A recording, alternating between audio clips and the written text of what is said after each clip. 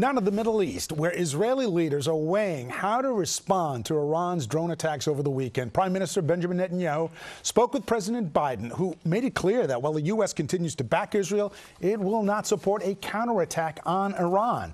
The Iranian military launched more than 300 drones and missiles at Israel in retaliation on a strike in an embassy in Syria. 99% of the Iranian missiles were shot down. Eyewitness News reporter Josh Einiger in Tel Aviv with the very latest.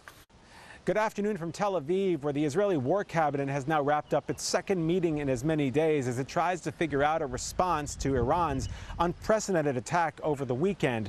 Israeli government planners trying to thread the needle here, come up with what they describe as a painful retaliatory attack without creating a wider war.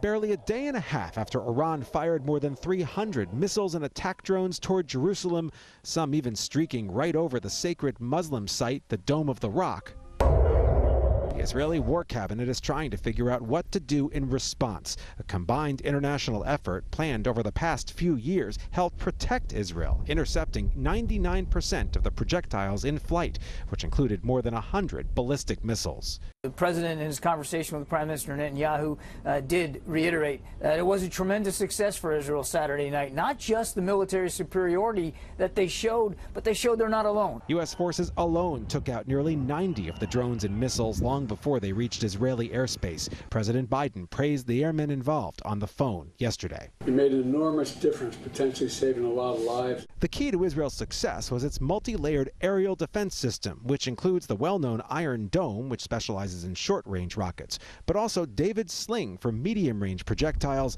and the Arrow, which is designed for long range missiles.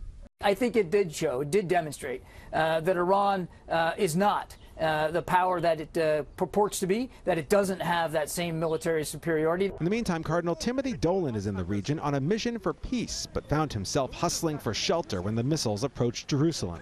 Today he met with Israeli President Isaac Herzog as the war cabinet deliberates for a second day on how to respond to this weekend's onslaught. The government puts a lot of thought a lot of consultation, a lot of strategy into this, all right? And that's a good thing that we try not to act on raw emotion all the time, but that we're thoughtful. I get that impression. We didn't talk too much mm-hmm. about the about the military part of it, but uh, knowing him and knowing that he's having a hand in this, I'm saying, hey, this is good news. The U.S. has already told Netanyahu it will not take part in any planning or execution of an offensive attack against Iran. The Biden White House actively pressuring Netanyahu to use restraint at a very tenuous time. In Tel Aviv, Josh Einiger, Channel 7, Eyewitness News. And stay with Eyewitness News for the latest on the tensions in the Middle East. Josh will be back with us on Eyewitness News at 4 and throughout the day.